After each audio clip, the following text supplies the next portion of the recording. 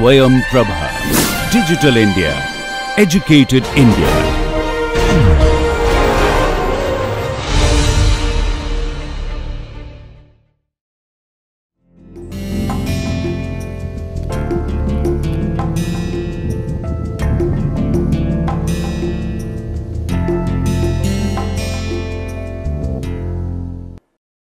Namaste. Today we begin a new module and this module is forest surveying. This module will have three lectures. The first one is classical tools, the second and third are the modern tools of photogrammetry and LiDAR. So, let us now begin with the first lecture and let us look at what a survey is. So, a survey is defined as the act of making measurement of the relative position of natural and man-made features on earth's surface and, and the presentation of this information either graphically or numerically. So, what we are doing in the case of a survey is that we are making measurement of the relative positions of different features on the planet earth. So, what we are saying here is that suppose you have these hills and then suppose these hills are all full of forests.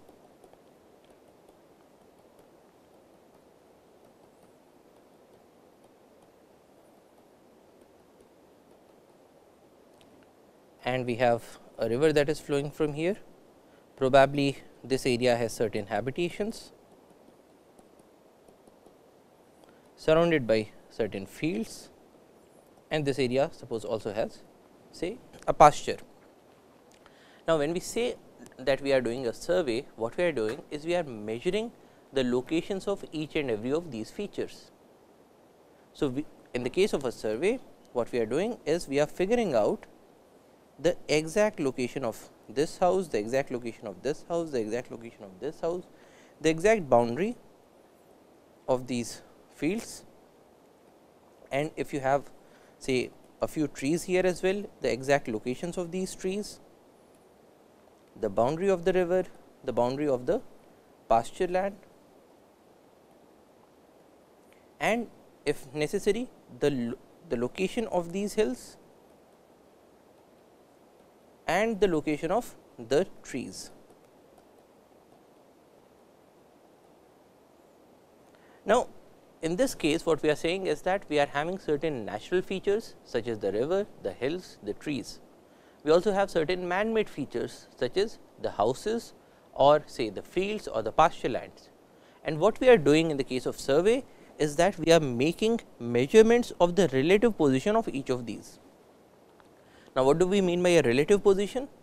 Say we take a point as our control point. So, let us say that this is the control point and we are taking the measurement of this point so, what we are doing here is we are finding out the distance of this point from the point uh, from our control point and the angle that it is subtending from say if this is the the north direction either the magnetic north or the geographical north. So, depending on uh, your application you could you could choose one of these and what we are saying is we are measuring this angle theta and similarly for each and every of these points. So, for this point what is the distance, what is the angle? For this point what is the distance, what is the angle? So, once you have a knowledge of the distances and the angles, then you can uh, uh, represent it in on a sheet of paper by plotting these distances at a certain scale and by making use of these angles. So, what we are doing here is that we are measuring the relative positions. Now, why a relative position? Because nothing uh, there is no such thing which is having a, a fixed position, because even if you take uh, a point on the planet earth, this point itself is moving because the earth is going around the sun. But in this case, in the case of a survey, we are choosing a point and we say that this is our reference point and what is the location of each and every uh, feature with respect to our chosen point. So, we do these measurements and then we present this information either graphically or numerically. So, when we present it say graphically what we are saying is that we will mark this point on a sheet of paper and with a scale we will say that this is one point at a distance of. So, when this distance was d you will say so you are drawing this as the north direction and you are saying that for this point this is and uh, this is your reference on the sheet of paper and you are saying that there is one point at a distance of uh, d and at the angle of theta on a sheet of paper. So, you are marking the location of this point. Now, in this case you, you will make use of a scale. So, in this case your d on paper is equal to uh, or you will say that 1 centimeter on paper is say 10 meters on ground. So, this is the first point 1. Now, for the second point you will again draw it like this. So, this is at this angle of theta 1 and at a distance of d 1. So, you are representing this point 1 and the point 2 and similarly you, you will be representing each and every feature on the sheet of paper. So, this is a presentation of this information.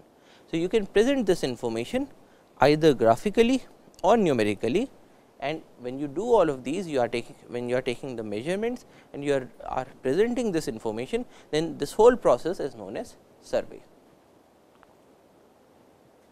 A survey is generally done in three stages. The first one is to have a general view of the whole area. You can also refer to this as a reconnaissance. So, in the case of reconnaissance what you did was you looked at the this whole location. So, you saw that there are hills, there is the river, you have the houses, you have the uh, fields, you have the pasture lands. So, first of all you had a general view of the location. Once you have a general view, then you decide which is going to be my reference point. So, in this case you choose this point as your reference probably because this was a point from where it was easy to take measurements of all these different features. Now, in certain conditions you can even go for two reference points. So, in this case you will say that this is my one reference point and I am drawing a straight line and this is my second reference point. So, when I have to take the measurements of the pasture I am making use of the first reference point when I have to take the measurements inside the village when I have to have measurements of the houses or of the fields then I will make use of the second reference point. But then both of these reference points are correlated to each other. So, what, uh, what we are saying in that case is that you first decide on the first reference point and you mark the second reference point by taking this distance d and also measuring the angle let us say that this angle is phi with the north. So, that if you if you have to represent it on the piece of paper you can directly represent it as you have this point at a distance d and making the angle phi. So, you get the second reference on the piece of paper and now you can start plotting the, the points that are being measured from the second reference. So, the first stage in surveying is to have a general view, so that you can figure out what is going to be your reference point and if you require multiple reference points what will they be. The second stage is to take the observations and the measurements. So, in the second stage what you are doing is you are suppose taking a compass to take the angular readings, you are also making use of tapes to take the, the linear measurements and you make you jot down all of these on a piece of paper. So, this is the second stage you are doing observations and you are taking measurements. Now, the third stage is the presentation of this data. So, you can either present it on a sheet of paper or you can present or you, or you can feed this data into a computer to get a, a digital representation of the whole area that you are surveying. Now, when you are when we are doing the surveying there is another thing that needs to be kept in mind. The surface of the earth is not flat. The earth is having a shape which we refer to as a geoid. So, it is circular in shape which is a bit more elongated in uh, towards the equator and this shape is referred to as a geoid. Now, what we are doing here is that if you represent the earth, you will represent it say by using a sphere. But if you are taking a very small portion of this sphere and if you look at it in uh, in a magnified view, this will look like this. So, uh, you are getting um, uh, so you are representing it with a section of the sphere, but if you take a, an even smaller point then what happens is that you can approximate it as a flat surface. Now, this brings us to different types of surveying. Now, one is known as a plane surveying. So, if you are doing your survey on a very small area on the surface of earth, then you will make use of plane surveying techniques. Now, in the case of plane surveying, you approximate the surface to be a flat plane. So, plane surveying the mean surface of the earth is considered as a plane and it is good for smaller areas that are less than 250 square kilometers.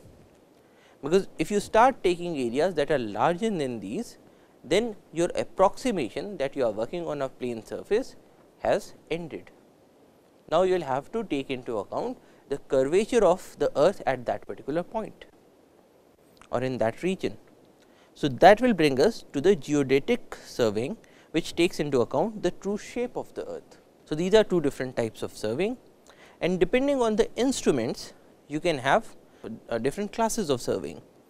So, the easiest one or the, the most classical one is the chain and the tape survey in which you take linear measurements only without any angular measurements. Now, what we are doing here is that suppose you have uh, a field that has say this shape.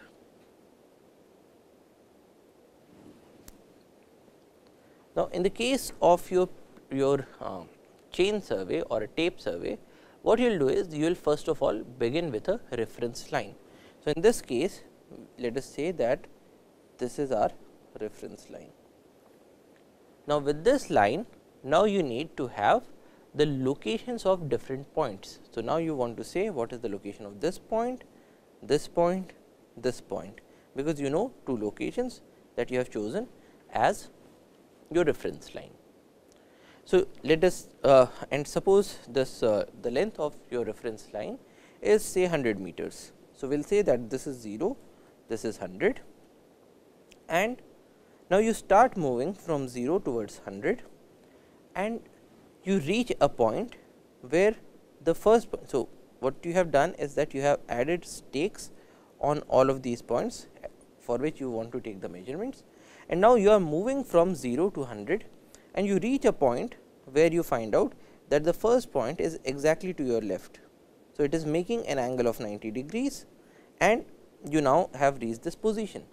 So, this is your first position. So, let us call it position A. Now, you will stop at this position and now you will take a measurement of what is the distance of the first point from the position A. So, you will measure out this distance let us call it d A. Once you have taken this measurement now you start moving uh, and uh, you also note down the position of A. So, let us call it x A. So, x A is the is the distance of this point A from the starting point. Now, you start moving even further and then you reach this point from where. So, let us call it. Uh, so, you have O P Q R S. So, now when you have reached this point let us call it B in this case you measure the distance of B from your starting position using a chain or a tape and you measure the distance of the point uh, you measure this distance to the right of B. Now, you carry on for uh, further and you have reached this point C. Now, here again you will measure the x c and you will measure the d c. Now, in this case you are only taking the linear measurements, you are not taking any angular measurement, you just go to a point where the next point is either completely to your right or completely to your left. And you are then uh, measuring where you are standing and you are measuring uh, the distance of the your, your stakes from, from this point either to the right or to the left. Now, in this case you will make a table and in this table you say that you began with this point O which was at 0 meters and then there was a point A which was say at 20 meters, then there was a point B which was say at 50 meters, you had a point C which was say at 70 meters and you had this point Q which was at 100 meters. Now, at position A you had the distance of d A let us say that this was 30 meters. At position B you had d B which was say 40 meters. At position C you had d C which was say 40 meters and then you had the final position q. Now, once you have these measurements, now what you can do is that you can take a piece of paper and you can draw a straight line and you can say that say um, 100 millimeter millimeter on paper is equal to 100 meter on ground or 1 millimeter on paper is equal to 1 meter on ground. So, what you will do in this case is that you will draw a straight line which is 10 meters uh, which is 10 centimeters on the piece of paper. You will start marking these points O and Q and then the point A is at 20 meters. So, you measure 20 millimeters and then you draw a line at 30 deg uh, at uh, 90 degrees which is 30 millimeters. So, here you have the point S, this is point A. Next you have the point B which is at uh, 50 millimeters and towards the right you have at 40 millimeters you have the point P. Then at 70 millimeters you have the point C and towards the left you have 40 millimeters and this is the point R. So, you have represented the whole area that you were surveying on a sheet of paper and then what remains is just to join these with straight lines. And so, now you have represented the area on the ground on a sheet of paper. Now, what can we uh, now uh, what can be the use of such a measurement? Now, you can uh, take uh, you can measure the area of the uh, of the region that you were surveying. So, for instance, now you can convert this and you will either have triangles or you will have a trapezium and we know that the area of a triangle is half of base into height and the area of a trapezium is half of a plus b into h where A and B are the parallel sides and H is the uh, the the separation between these parallel sides. So, in the case of plane surveys you are only taking linear measurements and just by using a chain or a tape to, to take these linear measurements you are uh, representing the region on a piece of paper and using it for instance to take different areas. Now, the next survey is known as a compass survey. Now, In the case of a, of a compass survey, you not only take linear measurements, but you also take angular measurements. So, you take angular measurements using compass and linear measurements using a chain or a tape. So, what you are doing in a compass survey is that you are say standing at this location and here you have your field that needs to be measured or that needs to be surveyed. Now, what you are doing is that you are taking just one position and you are measuring the angles with respect to the magnetic north that is represented with another color. So, this is your north and this is your field A, B, C, D, E. Now, for every point you are measuring the angle. So, this angle let us say that this is theta c and you measure you measure the distance of this point uh, c from your reference point. And so, you do it for c, you do it for b, you do it for d, you do it for e and you do it for a. So, in this case you have a table where for every point you have the angle that is being subtended and the distance of the point. So, you have A, B, C, D and E.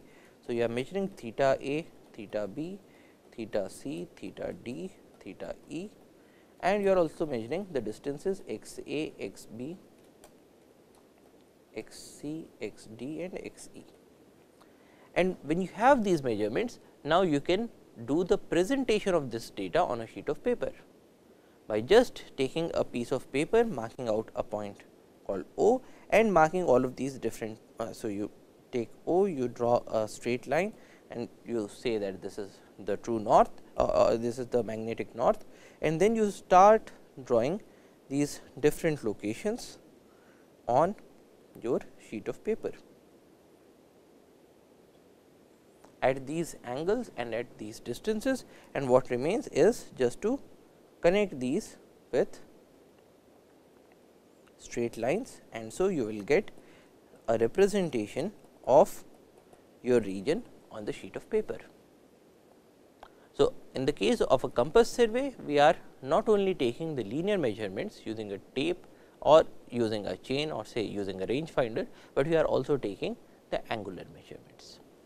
Now, the third survey is known as a plane table survey, in which case you take measurements and which are converted into drawings on a plane table. Now, what we do in the case of a plane table survey is that we take we we, uh, we take measurements from uh, from two positions.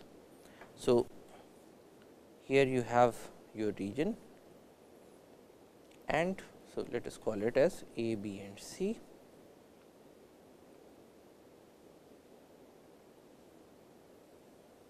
So, this is a triangular field that you are trying to survey.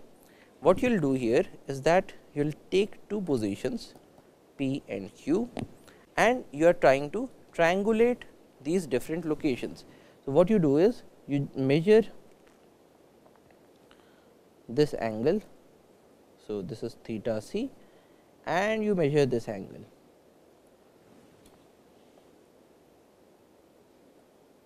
phi of c.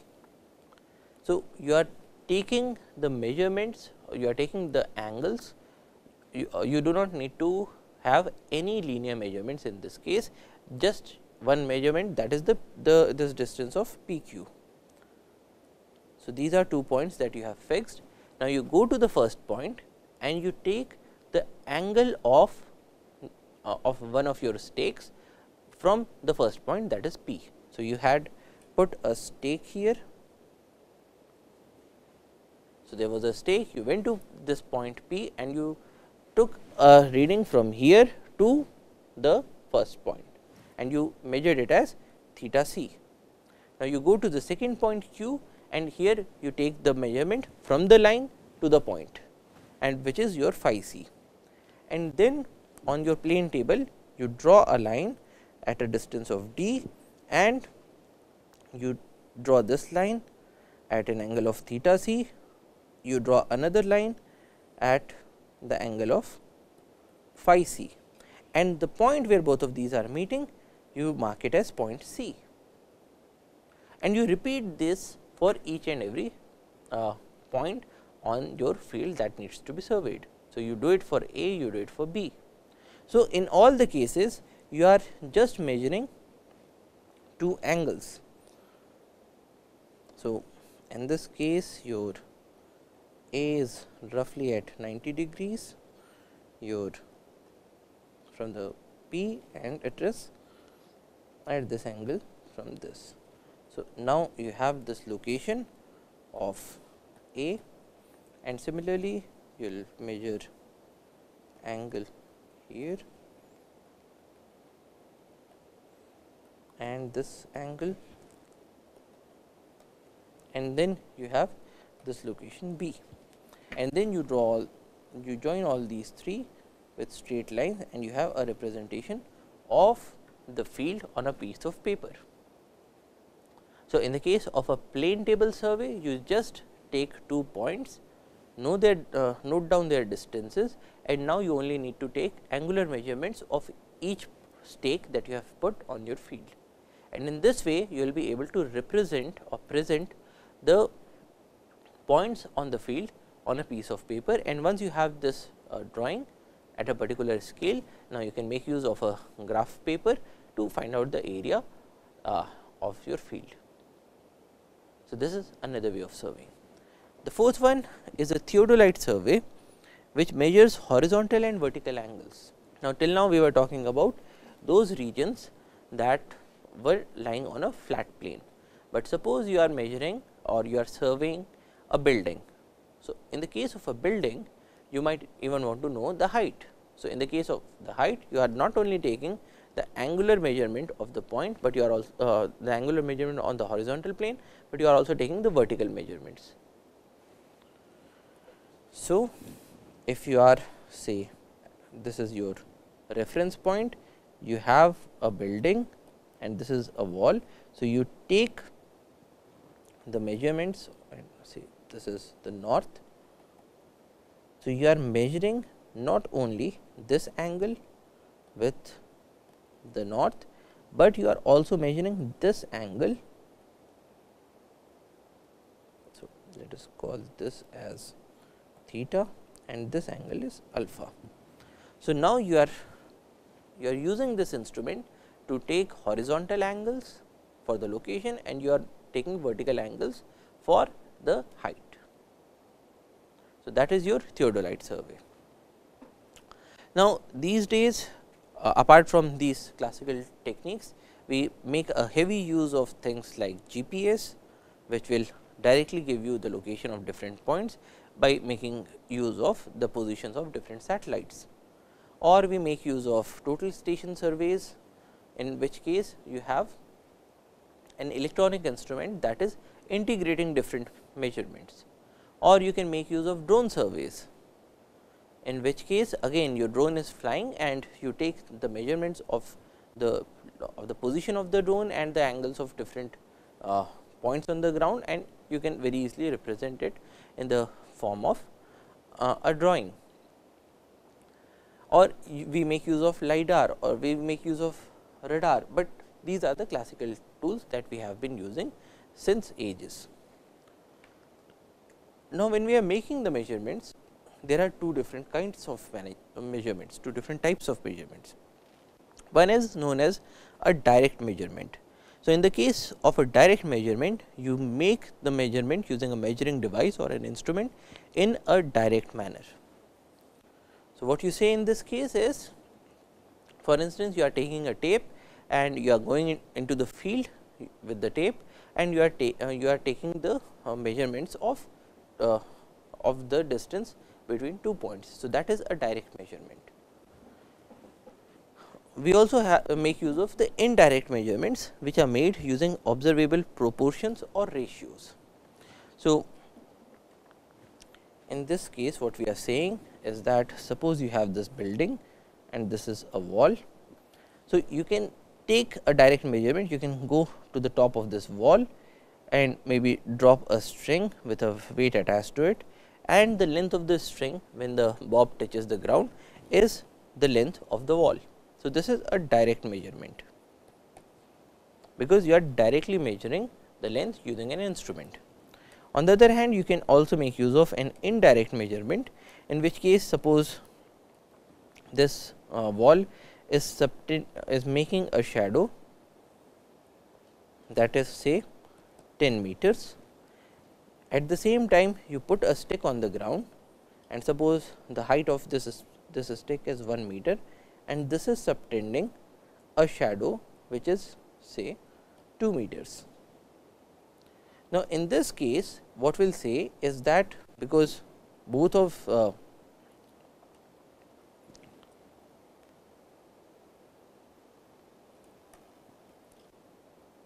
Now, what we are seeing here is that because both of these objects the wall and the stick are subtending an angle and making a, a shadow uh, based on the sunlight. So, both of these rays are parallel because the, the sun is at a very great distance and so we will make use of proportional measurements.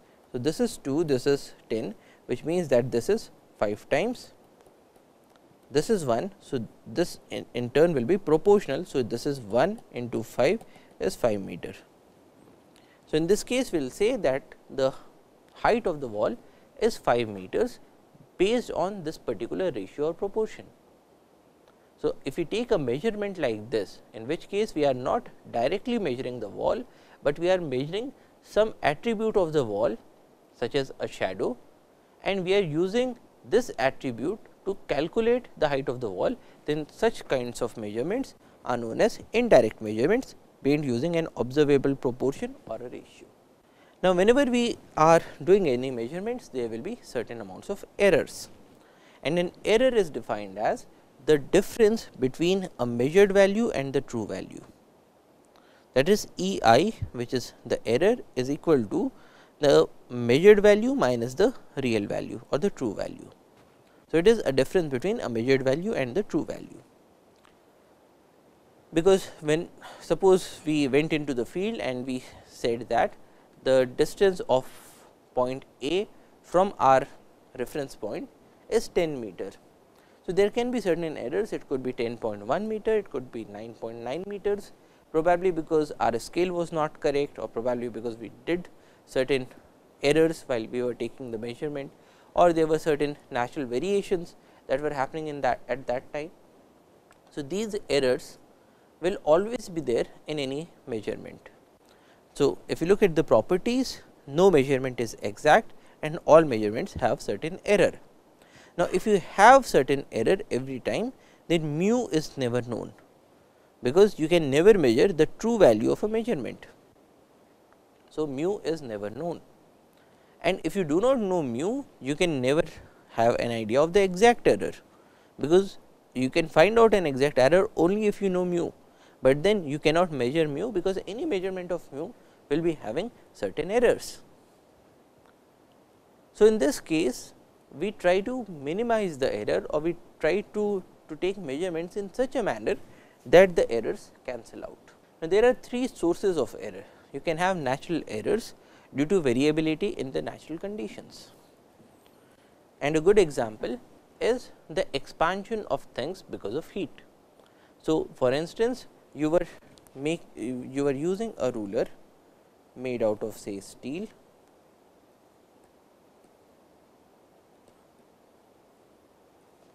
and you were using this ruler at a temperature of say 30 degrees Celsius.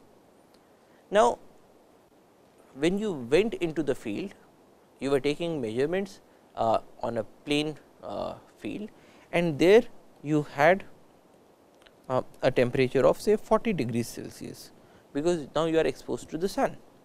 Now, when you are exposed to the sun there will be a slight increase in the length, because the ruler is getting heated and there is a uh, there is a, an expansion because of this heat. So, there is a thermal expansion in the linear direction. So, you were using the same ruler and you were measuring 1 meter. So, suppose your ruler is 1 meter and you say that okay, uh, this distance is 5 times of 1 meter, but then in place of 1 meter it was 1 meter and 2 millimeters. So, when you are taking these 5 measurements, so you were your measurements were 5 ruler lengths and because one ruler length is 1 meter. So, you said that this is 5 meter, but actually your ruler length in place of 1 meter it was 1 meter and 2 millimeters. So, if you multiply that with 5 you get 5 meters and 10 millimeter. So, in this case you are getting this error of 10 millimeters or 1 centimeter because of a natural variation because your ruler is not kept at the same temperature. When you are using this instrument, you are taking it to different locations and there might be a, a difference in temperature because of which there will be an expansion or contraction of the ruler. So, these are the natural variations because of uh, variability in the uh, natural conditions. You can also have an instrumental error due to imperfections in the instrument. So, in this case what we are saying is that uh, when you were even taking the measurement at 30 degrees and suppose your ruler was calibrated for 30 degrees, but at 30 degrees in place of being 1 uh, meter this actually is 0.995 meters. So, when this ruler was constructed at that time uh, the the manufacturer did not uh, uh, did not take into account the very exact measurements and in place of being a 1 meter ruler it is slightly shorter. So, the errors that will creep into your measurement because of this are known as instrumental errors because your instrument itself is faulty. Then there is a third source of error that is the personal error due to the user because when you were using this instrument you were not careful and uh, in place of uh, taking the so suppose you have you are measuring the distances between two points A and B and these were supposed to be 1 2 3 4 so these were supposed to be 5 ruler lengths. So these were supposed to be 5 meters. But actually what you did in the field was that you were using the instrument. So you take took one reading like this you then kept the ruler like this, then like this, like this.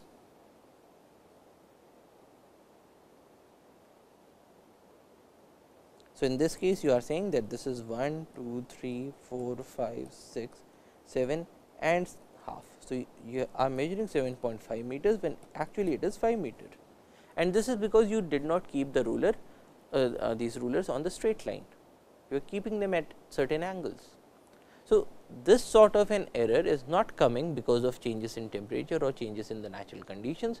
These sorts of errors are not creeping in because your instrument is faulty, but these sorts of errors are getting in because the user is not using the instrument in a correct fashion. So, these sorts of errors are known as the personal errors or user errors.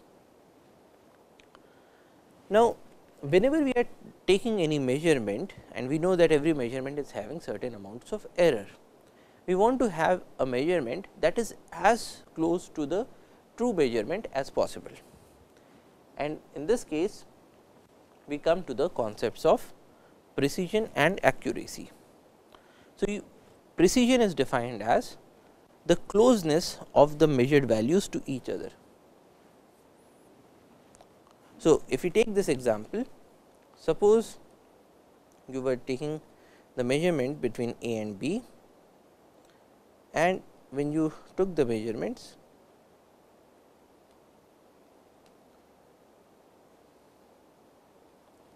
So, you were measuring the distance between A and B and suppose you measured it as 5 meters, 5.01 meter, 4.98 meter, 4.97 meter and 5.03 meters. So, these are the 5 measurements that you took of the distances between uh, of the distance between A and B. Now, the, this is one reading. Now, the second reading by taken by some other person is say 5 meters, 4 meters, 6 meter, uh, 5.5 meter and say 4.5 meters. Now, in the case of this set of readings what we are saying is that the minimum value is 4.97, the maximum value is 5.03. So, there is a difference of 0.06 meters between the highest and the lowest values. But in the case of these second measurements, the lowest reading is 4 meter, the highest reading is 6 meters. So, there is a difference of 2 meters, whereas here you only had 0.06 meters. So, we will say that these measurements are much more precise as compared to these measurements. So, precision is how close are the values to each other. If these values are coming together uh, with very small variations between them, then we say that these are precise measurements and when uh, when these values are too far apart from each other, then we say that these are not precise measurements, these are imprecise measurements. Now, the second thing is accuracy accuracy is how close the measured values are to the correct value. Now, in this case what we are saying is that suppose the actual uh, distance was 5 meter and you are taking uh, so one person is uh, take uh, has to has taken 5 readings which are say these and the second person has taken 5 readings that are very precise. So, let us say that he measured 6.01 meter, 6.00 meter, 6.00 meter, 5.99 meters and 6.00 meters. Now, these readings are extremely precise because the, the difference between the lowest and the highest values is 0.02 meters. But then the if you take the average of these it will be very close to 6 meters. If you take the average of these this will be close to the to 5 meters. So, these readings are accurate, these readings are not accurate. So, you can have readings that are precise, but not accurate, you can have readings that are accurate, but not precise and so on. So, if we were to represent accuracy and precision by say this representation. So, here you have a target board and different people are shooting on at this target board. So, these are the shots of 4 different people. Now, if we look at so uh, the target was to shoot at the center location the bullseye. So, if we look at these measurements then we will say that these readings are extremely precise because these are close together and these are also accurate because the person was able to hit, hit the bullseye. But we if, if we look at this shooter then even though these readings are extremely precise they are close together, but the, these readings are not accurate because he was unable to shoot at the bullseye. These readings on average are accurate, but these are not precise because if you take the average you will come to the central location but these are very imprecise because there is a huge amount of spread between different readings. Whereas, in the case of this one this is neither precise nor accurate. So, whenever we are taking the readings we, we want to take readings in such a manner that we have not only the precision, but also the accuracy. Now, here we also come to another concept which is known as bias. Now, bias is the difference between the mean of the measured values and the reference value. The mean of the measured values and the reference value. What we are saying here is that suppose your reference value is at the center and the mean is here, what is the difference? And if the reference value we are taking to be the true value, then bias is equal to the error in the measurement. So, what we are saying here is that in the case of these shots you have the readings here. So, these are the measured values this is the reference the, the difference between both of these is the bias. And to remove the bias we may need to calibrate the instrument. So, in this case what is happening is that the shooter is taking very precise shots, but probably the Uh, the bore of the gun was such or the barrel of the gun was such that it was giving a bias, it was always shooting towards the top right. So, in this case if the shooter calibrates the instrument, he or she will be able to get not only precise values, but also accurate values. So, bias can be removed by calibration of the instrument or the method of measurement. Now, in the case of forest areas, Typically, so suppose you have this large area, you have done a survey and now you want to measure say the number of trees that are there in your surveyed area. So, suppose you have an area of 100 square kilometers and you want to figure out what is the number of trees that are there in this area. So, now you have got two options. One is that you survey the whole of this 100 kilometer area, you uh, look at each and every tree, you mark them out and you count the number of trees that are there in your area. But then because we are having certain errors in any measurement, when even when you are doing this counting there is a chance that you will miss out a few trees. So, because there is an error you can try to economize your measurement by taking samples. So, you can say that in place of measuring 100 square kilometers, you will measure say a small area of 0.1 hectare here, another area here, another here, another here, another here and for each of these you find out the number of trees per unit area of land.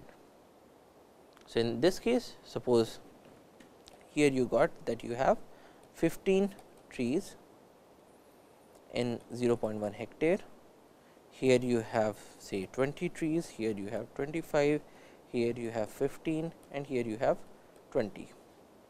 So, in this case you can take an average of all of these readings. So, you have 15 plus 15 is 30, 30 and 40 is 70, 70 and uh, 25 is 95.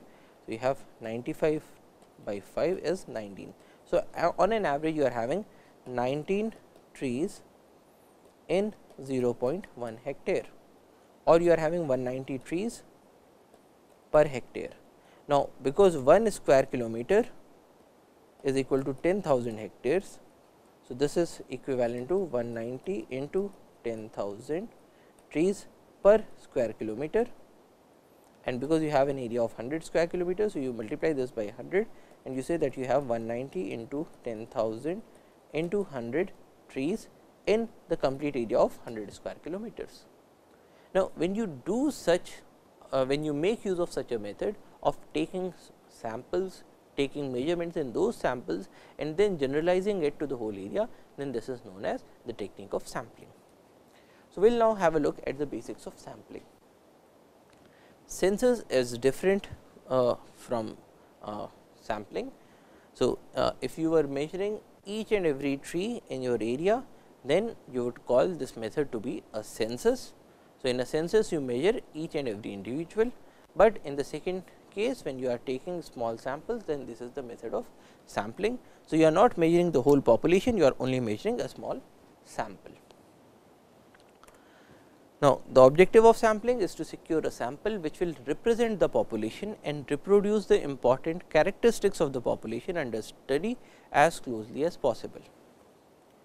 So, what you are doing in the case of sampling is that you say that in place of of uh, doing the measurements all over 100 square kilometers. I take small samples and in those samples I do the measurements and then I generalize it to the whole population. So, that I am able to get a representation or a reproduction of the important characteristics under study as closely as possible to the actual reading of all the trees in my area, but at a much reduced cost and in a much quicker time frame. Now, in the case of sampling we define things like population. So, population is defined as the aggregate of units from which a sample is chosen. So, in this case all the trees in your 100 square kilometer forms the population. Now, this population is divided into sampling units. So, sampling units may be administrative units or natural units like topographical sections and subcompartments or it may be artificial units like strips or plots of certain shape and size. The unit must be a well defined element or group of elements identifiable in the forest area on which observations on the characteristics under study could be made and the population is thus subdivided into suitable units for the purpose of sampling and these are known as sampling units. So, what we are seeing here is that we are taking different sampling units. So,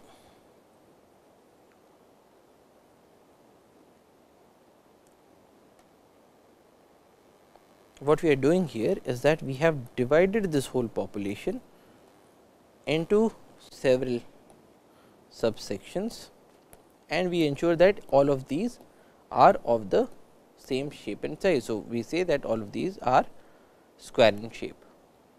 Now, when you are dividing the whole population into these smaller areas, then you are making sampling units out of the population. So, suppose you divided your 100 square kilometer into say uh, 10,000 units or 100,000 units, then we will say that we have divided the population into the sampling units. And then if you make a list of these sampling units, you call it a frame. So, in this case the frame will comprise of the list from 1 to 100,000 of each and every of these sampling units. Now, out of these sampling units, we or out of this frame, we choose one or more sampling units according to certain procedure and we call it a sample. So, in this case we are saying that we had this area of 100 square kilometers. We divided it into units of 0.1 hectare. So, 100 square in 100 square kilometer we had 100 into 10,000 into 10 which is equal to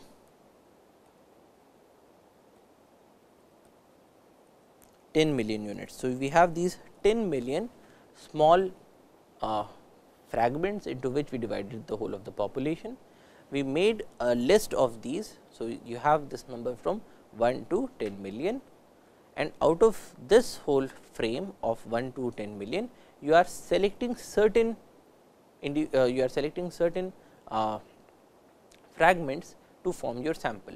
So, suppose you will say that I am I will randomly take 100 samples and so uh, uh, when you are doing it randomly suppose one is say a 30,000 frame 50,000 uh, 30,000 uh, unit 50,000 unit and so on. So, you are taking 100 units out of these 10 million units and these 100 units will form your sample.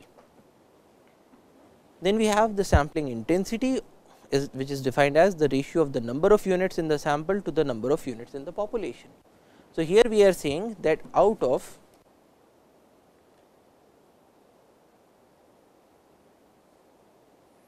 out of 10 million units we are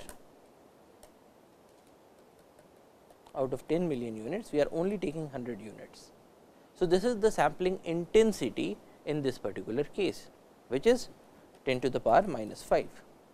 Now, in place of taking 100 units suppose we went for 10,000 units. So, in that case the sampling intensity would be 10,000 divided by 10 into 10 to the power 6.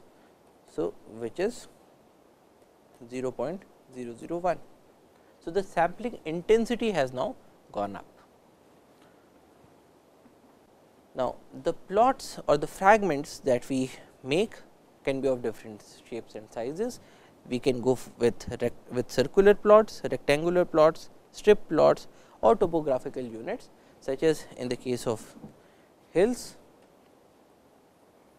We could say that this strip at say 10 meters is one unit, this strip at 1 kilometer is another unit and in both these cases the strip has a width of 2 meters. So, we can make use of these topographical plots as well. Now, when we are selecting the sample from the frame, we can we do it with a certain procedure and looking at the procedures we can have different kinds of sampling. We can have simple random sampling, systematic sampling, stratified sampling, multi-stage sampling or a probability proportional to size sampling. So, what are these? In the case of a simple random sampling, the sampling procedure is such that each possible combination of sampling units out of the population has the same chance of being selected and then it is referred to as the simple random sampling such as lottery or random numbers. So, what we are saying here is that we had chosen uh, 10 million units in our uh, frame and out of these 10 million units you have to select uh, 10,000 units. So, how do you select these 10,000 units? You could go for a lottery. So, you uh, on different sheets of paper you write uh, your numbers from 1 to 10 million, put them into a bag and select randomly 10,000 chits from this bag. Now, if you, you are using such a procedure then this is known as a simple random sampling now, of course, it is difficult to write 10 million numbers on chits and then put them into a bag and so we make use of random numbers these days. So, in the case of random numbers you can ask your computer to generate uh, a sequence of random numbers between 1 and 10 million and you choose the first 10,000 of these numbers. So, these are your sample. Secondly, you can make use of a systematic sampling in which case you select every kth unit starting uh, chosen at random from 1 to k as the random start. So, what you are saying here is that you have uh, 10 into 10 to the power 6 units and you have 10,000 here. So, 1 in every 1000 value has to be chosen. So, you say that okay, I will start with say a random value and uh, between 1 and 1000. So, you get a random value with which is say 565 and now you say that in your uh, systematic sampling because you have to select 1 in every 1000. So, you take you choose your numbers like 565, 1565, 2565, 3565 and so on. So, the first member is chosen at random and then one out of every kth member which is determined by your sampling intensity will comprise your sample. So, this sort of a sampling is known as a systematic sampling. The first unit is random and then you take every kth unit. So, for instance, you can say I will take every second member, every third member. So, suppose you have to, to select 10 members, uh, the first member came out to be 2 and you say every third member I will be selecting. So, 2, next is 2 plus 3 is 5, next is 5 plus 3 is 8, next is 8 plus 3 is 11 and so on. So, if you take such a procedure then you reach a systematic sampling. Next you can make use of stratified sampling.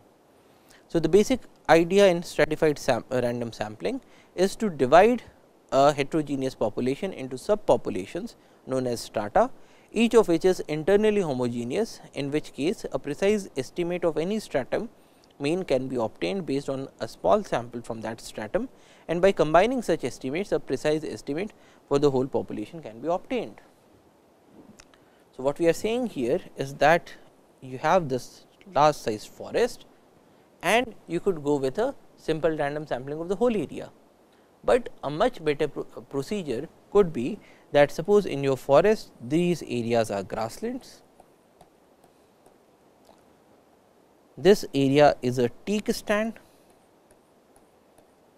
and this area is say a sal stand. So, in place of taking random samples what you can do is that you can divide the whole of the forest into these three sections and in each of these you will take random samples.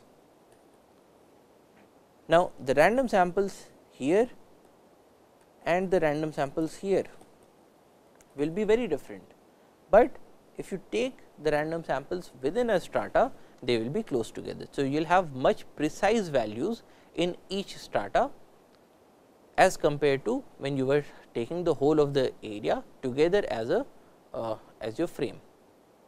So, in this case you can take the first measurement of the teak stand. So, the number of trees in the the average number of trees trees in the teak stand, the average number of trees in the sal stand and the average number of trees in the grassland stand the area of this is suppose A t here you have A s and here you have A g.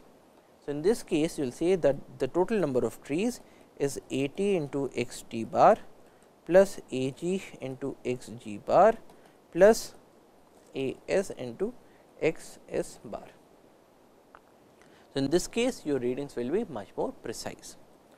Next we have a multi-stage sampling which is the procedure of first selecting uh, large size units and then choosing a specified number of subunits from the selected large units and this is known as subsampling. So, in this case you are saying that suppose you have to choose between 1 to 10,000 and what you are saying is that I will divide it into uh, 10 different stages. So, we I, I take 1 to 1000 uh, then I have 1001 to 2000, 2001 to 3000 and so on and in each of these I will be taking random samples. Now, this is because when you are just taking random samples it is possible that by chance your random numbers come uh, that all your random numbers come between uh, 9000 and 10000. But if you take this multi stage sample in this case you will have a much better representation of the whole population. Then we also have the probability proportional to size sampling or PPS sampling when units vary in their size and the variable under study is directly related with the size of the unit, the probabilities may be assigned proportional to the size of the unit and this type of sampling where the probability of selection is proportional to the size of the unit is known as PPS sampling. So, for instance, you want to measure the biomass of your forest and in your forest you have these large size trees and you also have certain small trees. Now, if you want to take a measurement of the biomass, then because the large size trees have a much greater representation in the total biomass of the forest, you can say that I will um, I will choose a sample in which these large size trees are are proportionally represented based on their sizes and the smaller trees are less represented. So, that I can have a much better idea of the total biomass in this forest. So, if you take such a procedure in which the probability of a, uh, of a unit getting into your sample is proportional to the size of that unit, then you re, uh, refer to it as a probability proportional to size sampling. So, in this lecture we started with surveys, what is a survey, what are the different kinds of surveys, what are the different ways in which we do surveys. And then we moved into um, how measurements are taken and what sorts of errors are there in the measurements. Now, our aim is to reduce this these errors. So, we want to have things which have better precision and better accuracy. Now, if you have large sized samples then large sized areas then a way to economize on your measurements. So, you want to get uh, good measurements without spending too much amount of money or time or other resources. So, in that case we go into sampling in the whole of the surveyed area and so we take small samples and we take samples in such a way that we have a good representation of the total population. So, that is all for today. Thank you for your attention. Jai Hind.